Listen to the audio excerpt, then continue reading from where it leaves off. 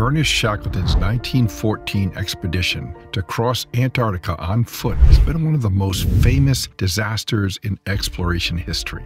His ship, the Endurance, was crushed in the ice and sank before even reaching the continent, leaving the crew stranded in one of the most dangerous environments in the world. Shackleton and his crew had to fight for survival, while the Endurance sat useless on the ocean floor. Recently, the wreck of the Endurance was discovered by search teams, broken and battered, but decently preserved, despite its failure, or maybe because of it.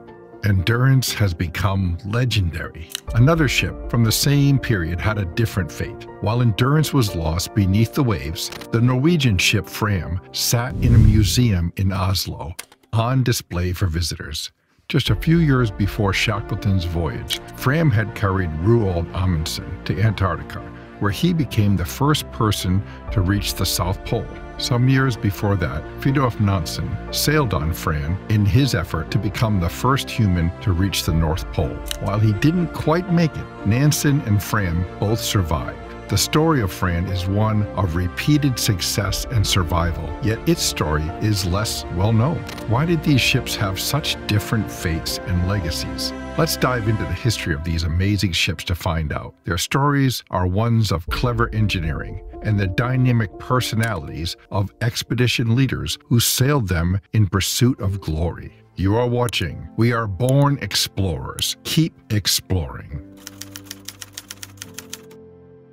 Our story begins with Fridtjof Nansen, a Norwegian scientist with an interest in zoology and oceanography. Nansen was also a keen adventurer and spent time skiing across Greenland, but his ultimate goal was to be the first person to reach the North Pole. He framed his quest as a battle with the ice in the Arctic he considered himself to be acting in the tradition of the Vikings, and he certainly looked the part. To Nansen, venturing into the ice was a form of combat, and he needed the right weapon a ship that could take him safely into the frozen Arctic seas. To craft the right weapon, he needed to know his enemy. Nansen was a scientist and a student of the Arctic. He studied descriptions of Arctic sea ice in travel narratives and carefully tracked the progress of other expeditions to the poles. By the late stages of European imperialism, explorers had mapped most of the world's surface outside of the Arctic and Antarctic. In the 19th century, European and American explorers ventured deeper into the Arctic, hoping to find new routes to Asia, the fabled Northwest Passage, or even a Northeast Passage, but these passages proved impossible to use because of the ice. European explorers shifted their goals, and a new competition emerged to get farther north and farther south than anyone had before. Explorers embarked on these epic quests to achieve personal fame and create prestige for their nations. This was the heroic age of polar expedition, in which men like Nansen raced to be the first to the Arctic Pole. Nansen studied previous explorations carefully, and one stood out the voyage of the American ship Jeannette. Captain George DeLong of the Jeannette attempted to reach the North Pole through the Bering Strait in 1879, but Arctic ice trapped the ship, eventually crushing and sinking the vessel. Before their ship sank, the crew tracked their position over time. Despite being trapped in ice, the position of the ship changed over time. The sea ice around their ship was moving. The fact that sea ice moved was not a new realization, but Nansen believed that it had the key to reaching the North Pole. A strange occurrence before the Jeannette expedition gave him the idea. Sometime after the expedition, Inuits in Greenland discovered artifacts from the Jeannette frozen in the ice near their shores. These items must have drifted in ice from the Bering Strait, bringing them close, if not right through the North Pole. If these items had floated across the poles on the ice. Could Nansen do so as well? In previous Arctic expeditions, getting trapped in ice was a hazard to be avoided entirely, or a major inconvenience to be endured until the ice melted. For Nansen, it would be the primary strategy in his battle against the ice. What he needed next was a ship that was up to the task. While many of his peers were doubtful about the expedition, Nansen received a large sum of money from the Norwegian government. A great deal of this cash went into the construction of the Fram, a ship specially designed for polar expedition. This was not a usual practice. Most ships used in these expeditions were repurposed. It didn't always make sense to construct an entire new ship for a single expedition, but Nansen managed to recruit ship designer Colin Archer for the unique project. Fram was designed from the beginning to not only endure the ice, but to use the ice to its advantage. For this, several aspects of the design were of utmost importance. The shape of the hull had to be rounded so that as ice pushed in on the ship, the ice would lift it up rather than crush it. Nansen and Archer used materials that could withstand the enormous pressure during this process. Oak, iron, pine, and greenheart. Sails and a steam engine provided propulsion. The ship was also designed to be small. This reduced the weight as it was pushed up on the ice, and it made it easier to navigate between ice floes. Nansen, unlike many of his peers, paid close attention to the Inuit methods of navigating dangerously icy waters. He knew that they did this using small and nimble kayaks. Fram owes much of its success to the experience and expertise of the Inuit, as imitated by Nansen and Archer. Another of the Inuit tools for Arctic travel were sledges pulled by dogs. Nansen brought teams of dogs with him on the Fram, as did many other polar explorers. If the ice drift did not bring them directly over their goal, the dogs could be used to travel over the ice to the North Pole. They were also the mission's safety contingency if anything went wrong with the Fram. Nansen and his crew set sail on Fram from Oslo in 1893. They sailed along the coast eastward towards the final position of the Jeannette north of Siberia. Then the ice set in. Fram performed her task beautifully, floating up on the ice, and the crew began their long drift towards the North Pole. Their time on the ice was not the battle that Nansen had dreamed of at the conception of the mission. On the contrary, the long Arctic winters were a dreary affair, entirely without sunlight at latitudes so far north. Crews that overwintered in polar regions had to endure living on the ships while they waited for the ice to break up. Polar exploration ships like the Fram were often cramped on the inside, since reinforcements to the hull made the interior of the ship smaller. They could spend some time outside the ships, but around them was nothing but ice. They would have to live like this for months. Nansen described his frustration in his book. Oh, at times, this inactivity crushes one's very soul. One's life seems as dark as the winter night outside. There is sunlight upon no part of it except the past and the far, far distant future. I feel as if I must break through this deadness, this inertia, and find some outlet for my energies. Can't something happen? Could not a hurricane come and tear up this ice and set it rolling in high waves like the open sea? Welcome danger if it only brings us the chance of fighting for our lives. Only let us move onward. Nansen, page 211 to 212. It wasn't that Nansen didn't expect this. He knew that if his theories worked out, this long waiting period was an essential part of the journey. But Nansen was a man of action, and the long wait aboard the cramped ship grated against his nature. Later in the expedition, Nansen would get his wish. Nansen and his crew waited aboard Fram for a year and a half until Nansen realized that the course of their drift was not going to take them directly through the pole. In March 1895, he made the decision to leave the ship and to make the attempt using skis and dog sled, leaving the Fram and its companions behind. Nansen and a companion set out into the Arctic ice. We found large expanses of flat ice and covered the ground quickly, farther and farther away from our comrades, into the unknown, where we two alone and the dogs were to wander for months. The Fram's rigging had disappeared long behind the margin of the ice. Nansen, page 372. They didn't reach the pole. Nansen made it just past 86 degrees north before encountering ice so forbidding that they could go no further north. Winter was coming, and they sought shelter on Franz Josef Land, a group of islands to the south. They spent the winter season in survival mode. They constructed a small hut and hunted bear and walrus to sustain themselves. After over a year in the Arctic wilderness, an incredible fortunate turn of events led to their survival and return home. They were picked up in 1896 by British explorer Frederick Jackson, who happened to be traveling through the region. He picked up Nansen, saving him from a perilous situation. Nansen and Fram were reunited in Norway that August at the end of a three-year expedition. Nansen had not reached the North Pole, but he demonstrated his theories about Arctic ice drift, and his crew collected useful scientific data during his mission. Because Fram survived, it was able to participate in one of the greatest success stories of polar exploration. The impressive performance of the Fram made it Roald Amundsen's choice in his attempt to reach the South Pole in 1911.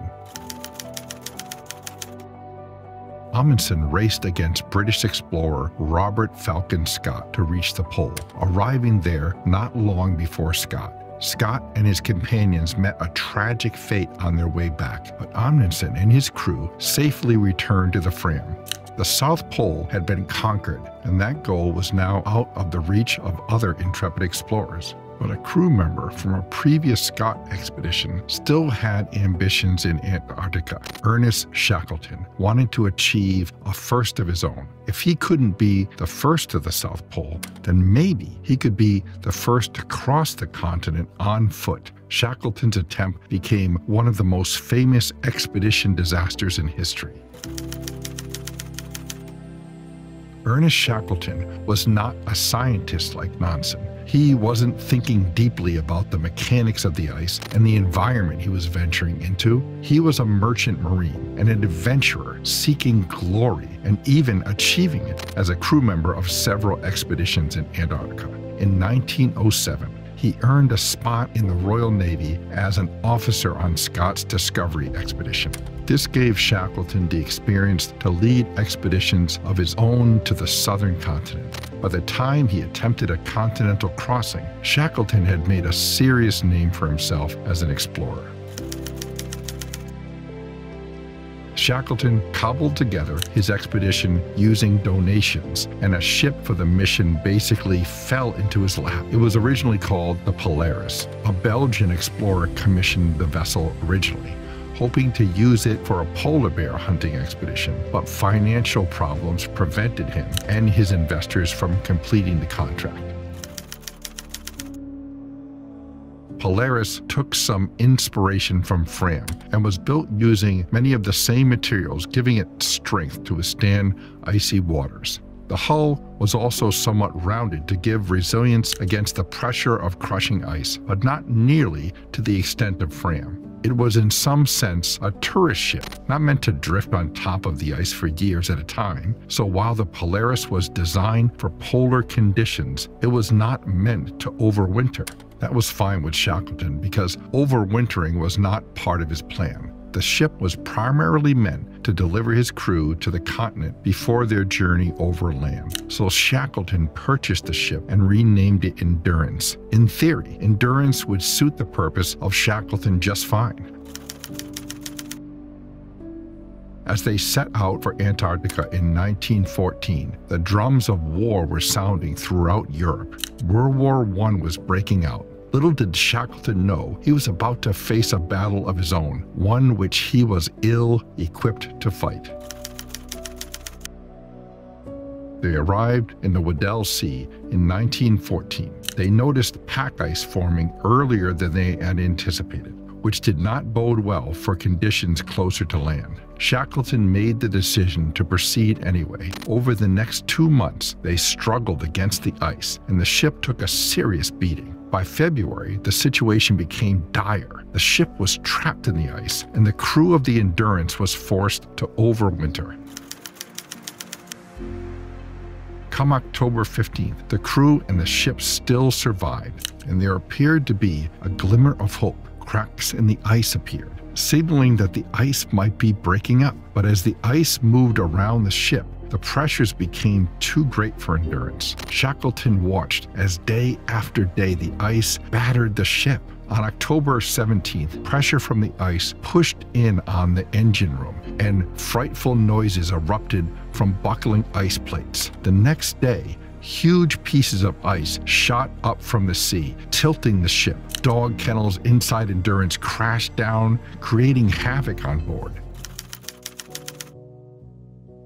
Like Nansen, Shackleton felt that he was in combat with the ice. The attacks continued each day until finally, on October 27th, Shackleton made the decision to abandon ship. As they left the ship the next day, the Endurance was falling to pieces around them. They could feel and hear the death of the ship, and Shackleton described the experience vividly. The twisting, grinding floes were working their will at last on the ship. It was a sickening sensation to feel the decks breaking under one's feet, the great beams bending and then snapping with a noise like heavy gunfire. Shackleton, page 91. As the ship was consumed by the ice, the crew made camp nearby. The temperatures that night dropped to minus 16 degrees Fahrenheit or minus 27 degrees Celsius.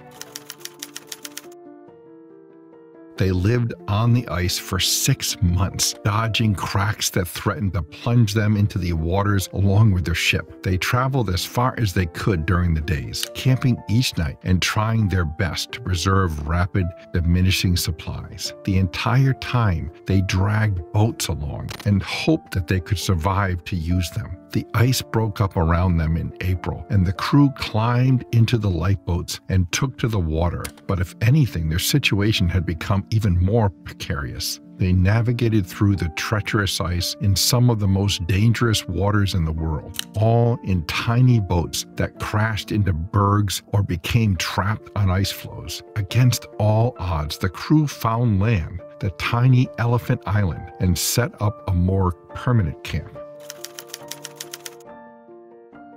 Shackleton put together a plan for rescue. He and four other men piled into one of the small boats, the James Caird, and battled against treacherous seas in search of help. After several attempts, they finally reached South Georgia, where their journey into the Weddell Sea had begun. A rescue was put together, eventually saving the entirety of the crew huddled in wait on Elephant Island. They had never even set foot on the mainland of Antarctica, and their ship rested on the ocean floor, but they survived.